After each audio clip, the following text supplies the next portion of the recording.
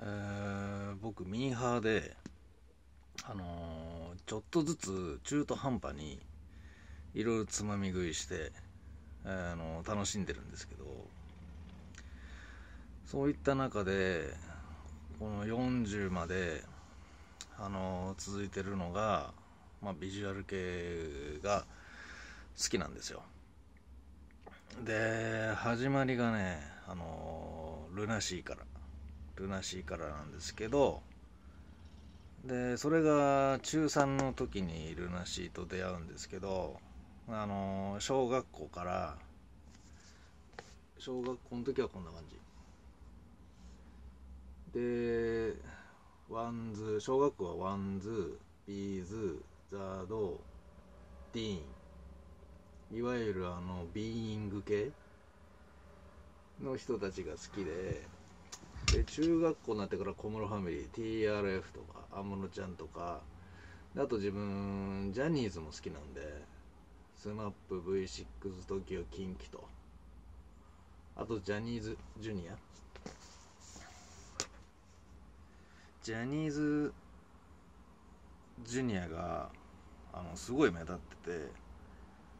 あのー階段トリオタッキーとか翼くん。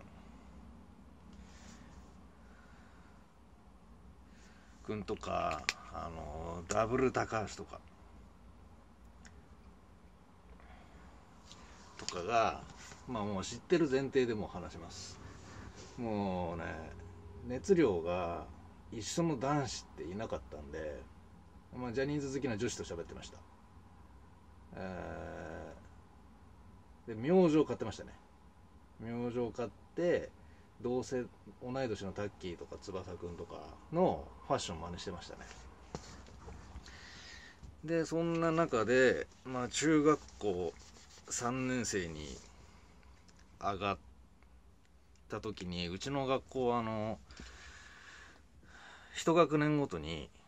クラス替えがあって中3の時に初めてあの一緒になった子に、まあ、仲良くなって家に来いよと。遊びに来いよって言われてなんかあの行ったらあの出来たてのライオンズマンションに住んでて綺麗でちょっと玄関にポーチがついててあこんなとこ住みたいなっていうとこだったんですけどそこで、まあ、45人で集まってちょっとビデオ見せてやるよって言われて何のビデオかなと思って。したらあのルナシーの VHS 当時。見せてもらってまず目に入ったのが杉蔵と J かっこいいなと思ってまあ x ジャパンはなんとなく知ってたんですけどあの同じカテゴリーだと分からずに、まあ、当時 VGR 系って自分たちは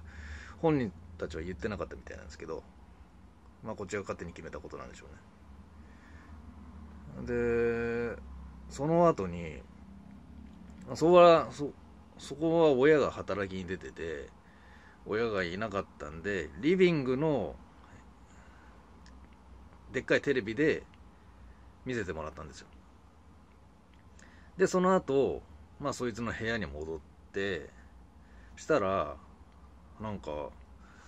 先っぽがぐるんってしたなんか黒いギザがあってなんだこの変な形はと思って。でもなんとなくかっこいいなと思うんですよでそいつがえーっとなんかつないでまあマウント取ろうと思ったんでしょうね。あのいきなり X の「紅」を弾き始めてしかもギターソロまで。なんか俺友達いなかったんであこういうのが流行ってんだと思ってそいつ顔広かったんですよ。よくいるあのー不良じゃないんだけど不良にも一目置かれてて勉強もちょっとできてで俺らなんか暗いやつともにも話しかけてでモテてで部活もレギュラーでみたいなそ特別うまいわけじゃないんですけどっていうやついるじゃないですか。そいつの周りはなんかもうギターとかで女子にも人気あったんでなんかどうやらビジュアル系っていうのが流行ってるぞと。でそんな紅を引かれてルナシート紅できたかと、うん、あルナシート X できたかと。もうギターソロも弾けてあんな速い指の動き見たことないと思って。あかっこいいと思ってもうそれのでもうルナシーとギターやろうと思って。でその後々気づくんですけどそいつが持ってたギターがえー、杉蔵モデル。えー、インディーズの時イメージはリアルであのー、ライブビデオでや使ってたのは白のくるくるしてたやつ。のそれの黒バージョン。だそいつが全然似合わないんですよ。丸顔で。背ちっちゃくて。杉蔵だから似合うんでしょうねあれね。杉蔵のあの化粧が化粧で。とかその立ち振る舞い。で J と杉蔵の何に惹かれたかっていうとあのもう立ち姿ですよねもう。佇まい。あの弾き方？指の動き？あのライブ DVD でそういうところを映してくれるじゃないですか。あめちゃくちゃかっけえなと思って。でもなんか顔は最初に初めて見たのがスタイルなんですよ。もう俺遅れててもう東京ドームやるぐらい人気あったのにあのそいつらも友達も、えー、東京ドーム行ったらしいんですよ。で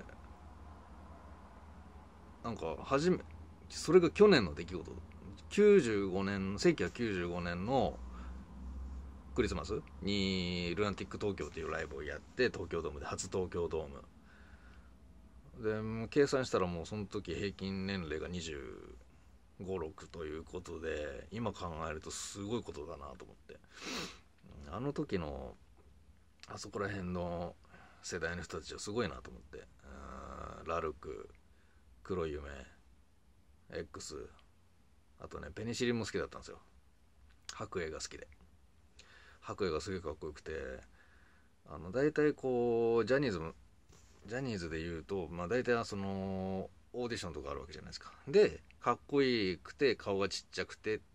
運動神経良さそうでっていうことが多分ピックアップされるんですよ。でもあの